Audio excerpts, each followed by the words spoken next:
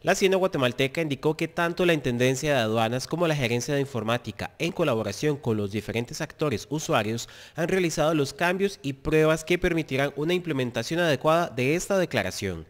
La factura y declaración única centroamericana que Guatemala ya utilizaba con Honduras es el documento legal electrónico que sirve para documentar las transferencias, es decir, antes exportaciones y adquisiciones, antes importaciones, de mercancías con libre circulación que se comercialicen entre contribuyentes del impuesto del valor agregado de Guatemala y El Salvador e impuesto de ventas de Honduras. La unión aduanera entre los tres países del Triángulo Norte traerá efectos potenciales según un estudio de la Comisión Económica para América Latina y el Caribe CEPAL que pronostica un aumento de entre el 0,5 y el 1,2% del Producto Interno Bruto de las tres naciones. Esta zona, una de las más pobres y violentas del mundo y que representa una extensión territorial de 242 mil kilómetros, tiene una población de casi 33 millones de personas y selló su unión el 20 de agosto con la adhesión de El Salvador.